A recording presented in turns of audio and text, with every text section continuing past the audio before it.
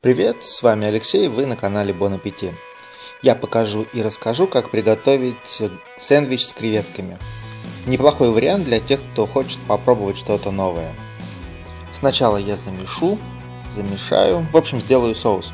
Для этого мне нужно 3 чайные ложки майонеза, 1 чайная ложка кетчупа. Немного коньяка, он придаст особый шарм соусу. Можно добавить немного побольше коньячку, если хочется, чтобы его аромат и вкус были явно выражены. Но не переборщите. И еще немного табаско. Теперь перемешиваю. Соусом закончил, теперь дальше. Беру багет, самый обычный багет. Режу его на порции и разрезаю вдоль, но не до конца. Учитывая, что корочка у багета хрустящая и может быть немного жестковатая, было бы также здорово использовать булочки для гамбургеров. Что ж, делайте выбор на свой вкус.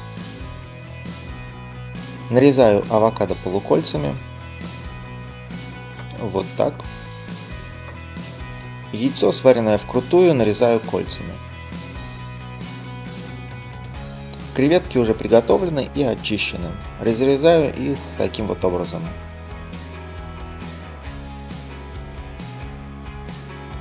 Теперь помидор. Режу сперва на дольки.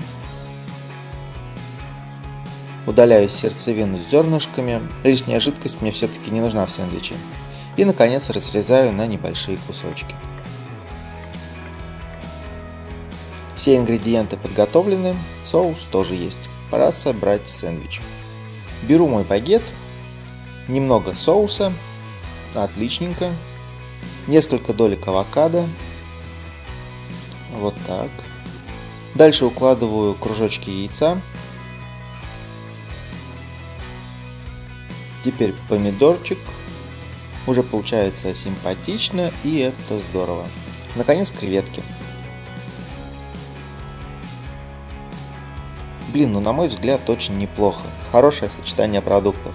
Сэндвич в красивых нежных цветах, что придает ему аппетитности. Конечно же получилось вкусно.